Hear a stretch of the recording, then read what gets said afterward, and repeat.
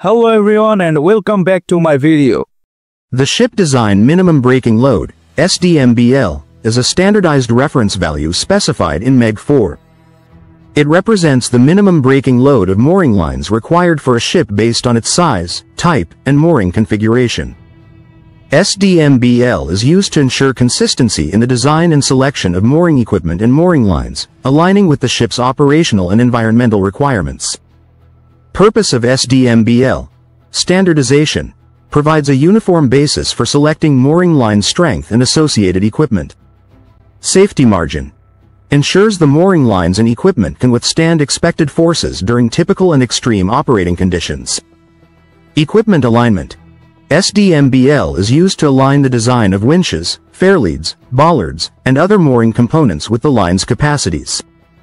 Calculation of SDMBL SDMBL is determined using ship-specific data such as displacement, freeboard, and mooring arrangements.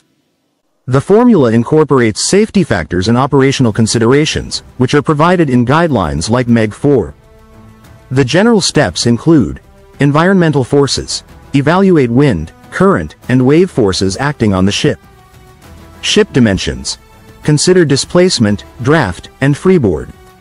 Mooring arrangement, Determine the number and configuration of mooring lines used. Safety factor. Apply safety margins to account for dynamic loads and environmental extremes. Relation to other terms. SDMBL versus MBL. SDMBL is a design value to ensure that the mooring line's MBL meets or exceeds this minimum. SDMBL versus LDBF. SDMBL is a benchmark for design, while the line design break force, LDBF, is the tested as new strength of a specific mooring line. Percentage requirement.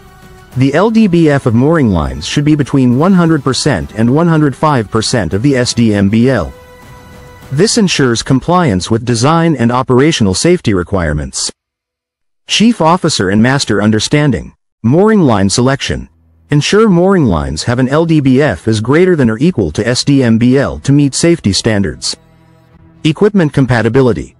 Verify mooring winches, bollards, and fairleads can handle loads corresponding to SDMBL. Inspection and maintenance. Monitor line residual strength, ensuring it remains above operational requirements relative to SDMBL. Operational safety. Use SDMBL as a reference when assessing mooring line performance during dynamic conditions. For more videos, subscribe Sailor 360 and stay connected.